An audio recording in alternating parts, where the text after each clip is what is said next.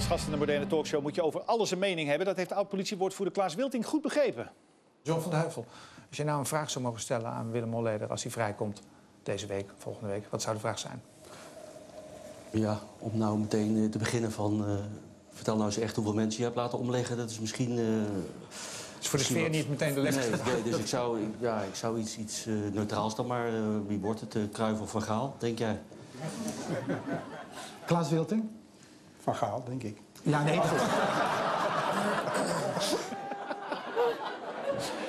TV-verslaggevers praten vaak toe naar een filmpje dat de nieuwsfeiten verder toelicht. En dan is het belangrijk om te zorgen dat de informatie niet dubbelt... en dat alles goed op elkaar aansluit. Dat vindt Ellen Kamphorst van Omroep Gelderland ook. Kinderdagverblijf Noordwest-Veluwe is failliet. Hoe staat het er nu voor? We hebben wel de directeur gesproken en hij zegt dat zijn opvang aan zich gezond is. Dus dat er genoeg kinderen op de opvang zitten. Dus ook op die nieuwe vestigingen. Nou, die indruk hebben wij zelf ook. We hebben een aantal ouders gesproken en die zeggen echt dat het hier heel druk is. Maar ze maken zich nu wel grote zorgen. Ja, ik maak me niet echt zorgen. TV West laat zien hoe kitesurfster Katja Roos wordt uitgeroepen tot Haagse sportvrouw van het jaar. Voor kitesurfen heb je een goed evenwichtsgevoel nodig, zoals Katja treffend demonstreert. Sportman 2011, Robin Haase. Tennisser Robin Haase, dus sportman van het jaar 2011. Maar hij heeft een bijzondere actie. Hij deelt zijn prijs met Laurens-Jan Anjema, de squasher. Het was voor mij ook het moment om hem eigenlijk in de schijnwerpers te zetten. En daarom eh, deze actie. Dit is Katja Roze, kitesurfster.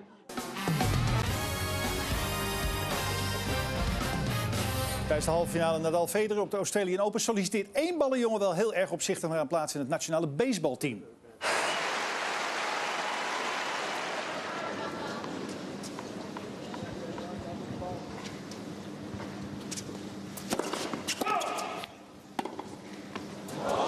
Oeh, goed gevangen. Goeie reflex daar aan het net.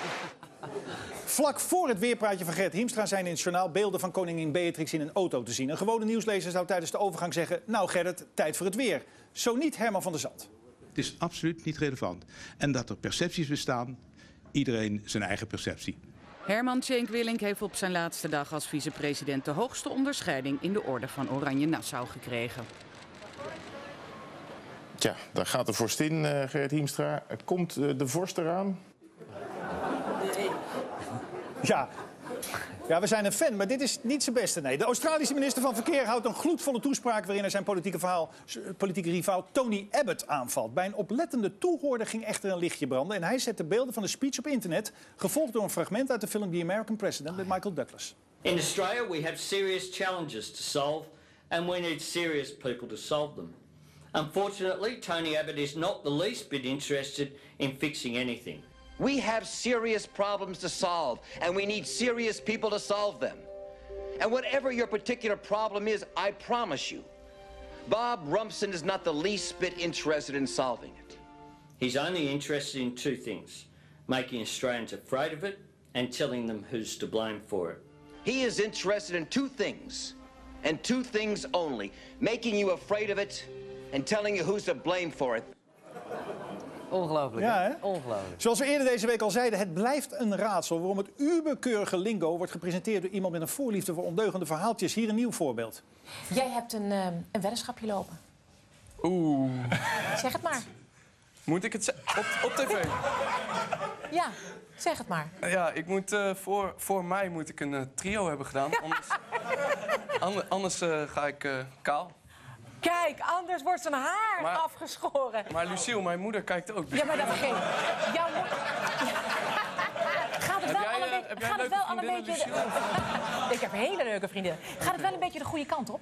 Ja, ik ben bezig. Ik ben, eh, Heb jij ooit van dit soort idiote weddenschappen gedaan? Ik, eh, Ja. eh, nou wel om kaal gaan, maar niet, eh, niet om trio. En hier zijn de geschoren lingoballen. Oh. Tijdens de Afrika Cup is de wedstrijd tussen Equatoriaal Guinea en Senegal aan de gang. Aan de manier waarop de speler Eganga een zwalbe uitvoert... kun je zien dat hij niet gewend is dat er veel camera's rond het veld staan. En nu de spelverplaatsing.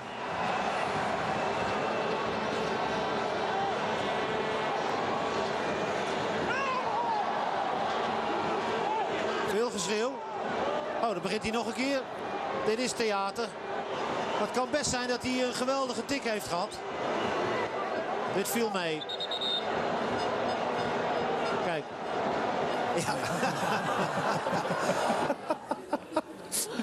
Man bij het hond volgt sinds kort twee vrienden uit Eindhoven, Michel en Eddy. En ze noemen zichzelf de Bosjesmannen, omdat ze pure specialisten zijn op het gebied van survival in de Hollandse natuur. En met name de struggle om aan voedsel te komen is verschrikkelijk zwaar. Pissenbedden of uh, larven, die zijn eetbaar. En in geval van nood moet je alles aangrijpen wat je kan vinden. Ja. In de wortels van de lisdollen ga ik hem even uit de grond trekken. Nee, jammer. Kijk eens wat ik meegebracht heb. Oh. Oh, dat zal wel smaken, een mooi haasje. Ja, als, als je echt op survival bent en je hebt niks en je hebt een week niet gegeten en je vindt, of je vangt een haas, ja, dan eet je hem denk ik graag op. Dus, uh... We hebben eigenlijk nog nooit haas gegeten. Nee. Wel konijn en kip, maar haas nog nee, niet. De haas is nieuw. En die haas die zal nog wel even duren, nog een paar uur denk ik, voordat hij helemaal door en door gaar is. Dan stel ik voor dat we vast aan de hamburger beginnen.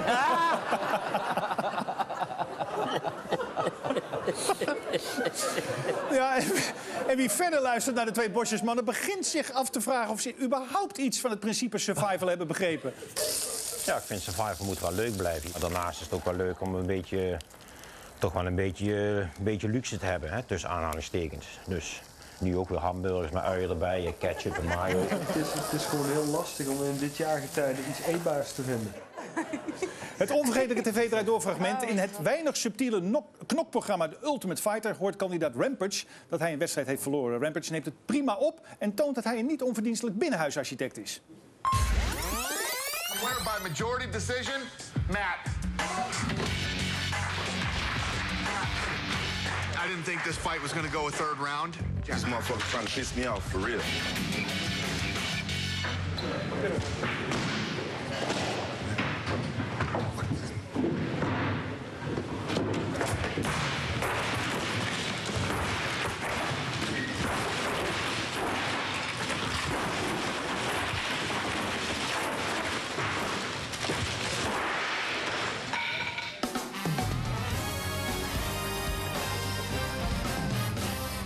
Beste uit de tv draait door van januari. Met spectaculaire beelden introduceert het Vlaamse programma De Laatste Show de volgende gast in de studio. De Zwitserse koordanser koning Freddy Nok. Hij krijgt zelfs een keizerlijke opkomst.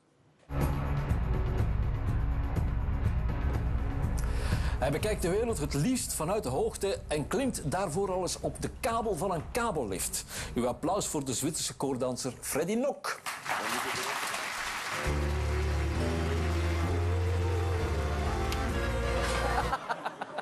De parkeertarieven in Amsterdam-Oost gaan omhoog. En dus haalt het AT5-nieuws verhaal bij verantwoordelijk wethouder Jeroen van Spijk. Die kan nog wel een dagje mediatraining gebruiken. Parkeervergunningen in een aantal wijken in Oost en Nieuw-West worden volgend jaar een stuk duurder. Stadsdeel Nieuw-West geeft in een reactie aan dat de tarieven van het stadsdeel onder het gemiddelde lagen. Daarom worden ze verhoogd. Oost heeft niet echt een reden. Nou ja, goed, eh, dat is, eh, ja, het heeft ook met het economische klimaat. Nee, dat slaat nergens op. Maar waarom gebeurt het zo? Ja, we hebben daar geen... eh, ik weet niet. Ja, als gast in de moderne talkshow moet je over van alles een mening hebben. En dat heeft de oud-politiewoordvoerder Klaas Wilding goed begrepen. John van de Heuvel, als je nou een vraag zou mogen stellen aan Willem Holleder als hij vrijkomt deze week, volgende week, wat zou de vraag zijn? Ja, om nou meteen eh, te beginnen van... eh, vertel nou eens echt hoeveel mensen je hebt laten omleggen. Dat is misschien... eh, is voor de misschien sfeer wat- niet meteen de les. Nee, nee, dus ik zou, ik- ja, ik zou iets, iets eh, neutraals dan maar... eh, wie wordt het? Uh, of Van Gaal, denk jij?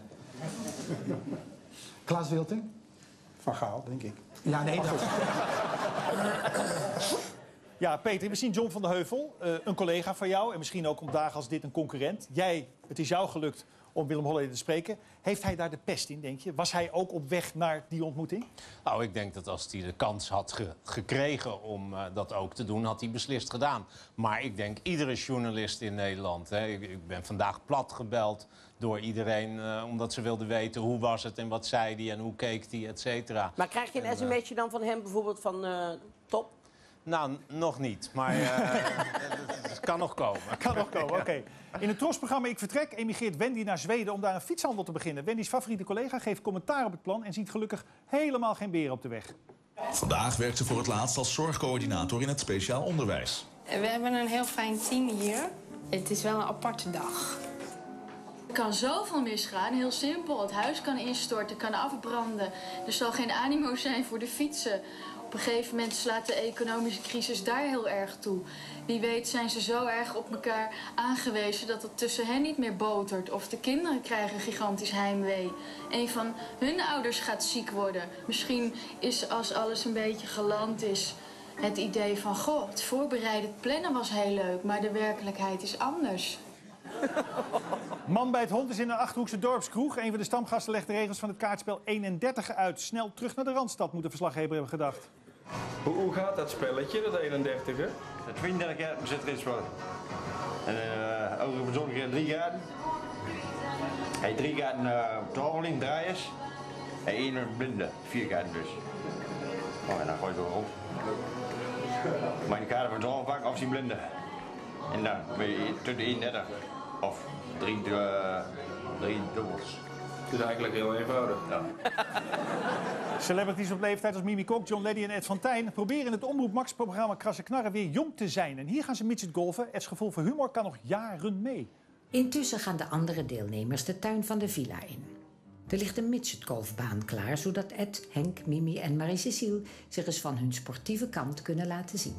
Dan gaat uh, Mimi nu afslaan. Ja? Ja.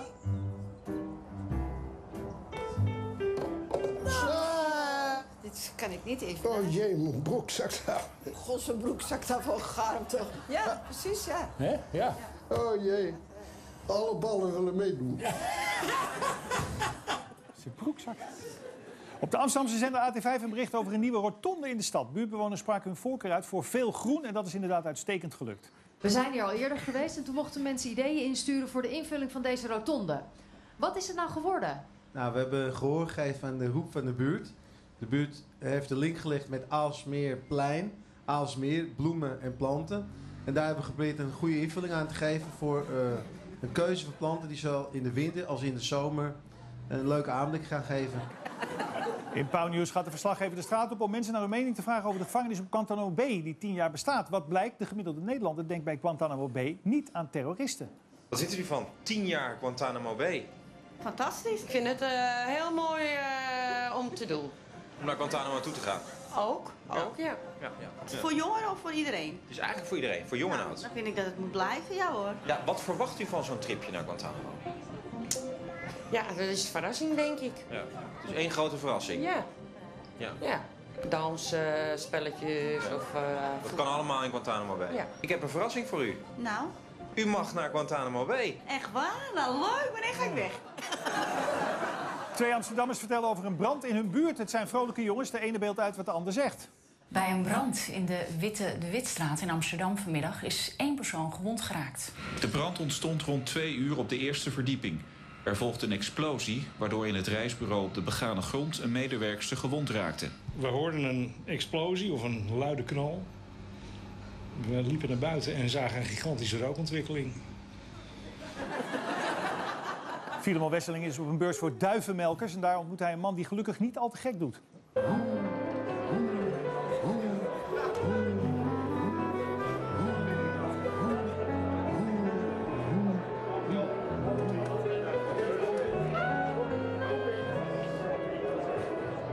Gaat het wel goed met u nog? Het gaat heel goed met mij.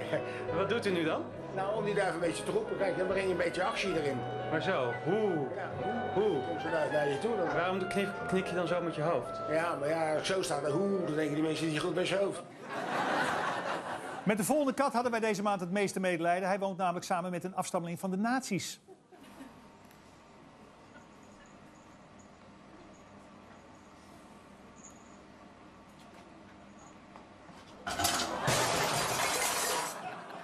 Ja, had die arme poes maar kunnen vliegen zoals deze soortgenoot.